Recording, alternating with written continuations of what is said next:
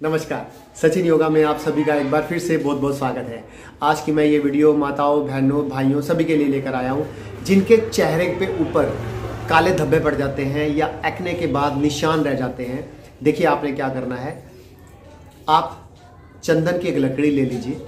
इसको आपने घिसना है। घिस कर इसका लेप निकाल लीजिए।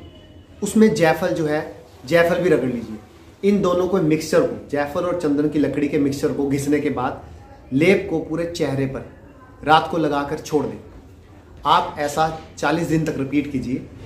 ये बहुत ही फ़ायदेमंद फार्मूला है। आपके चेहरे के ऊपर कैसे भी काले धागों या कील महासों के निशान रह जाएँ, वो बिल्कुल साफ़ हो जाएँगे, बिल्कुल क्लीन कर देंगे आपके चेहरे को।